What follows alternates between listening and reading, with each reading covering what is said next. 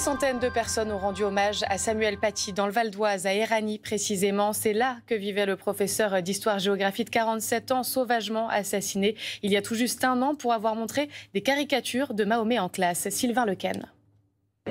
C'est un moment d'émotion et d'hommage à Éragny, dans la ville où résidait Samuel Paty.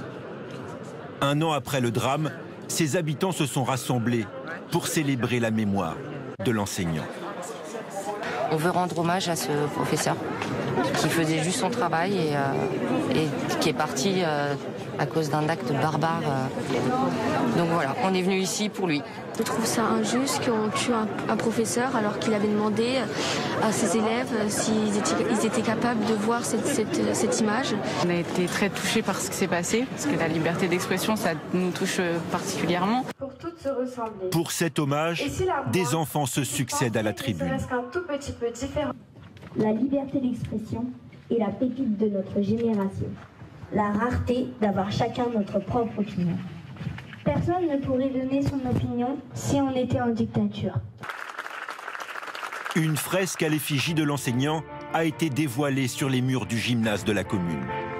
Je m'inquiète pour l'avenir, pour les, jeunes, justement, cette génération à venir. Je voudrais qu'ils aient un monde euh, sans violence, un monde apaisé. Et euh, il faut, il faut construire ça ensemble. Il faut, faut être là, justement, pour faire passer ce message-là. Pour les habitants d'Eragny, le visage de Samuel Paty restera gravé dans les mémoires. Et dans le même temps, à Paris, inauguration d'une plaque en hommage à l'enseignant, une plaque au ministère de l'Éducation nationale, inauguration par le Premier ministre Jean Castex et le ministre de l'Éducation Jean-Michel Blanquer.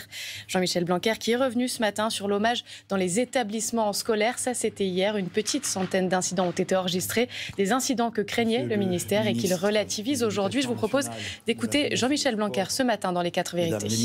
On a recensé des incidents.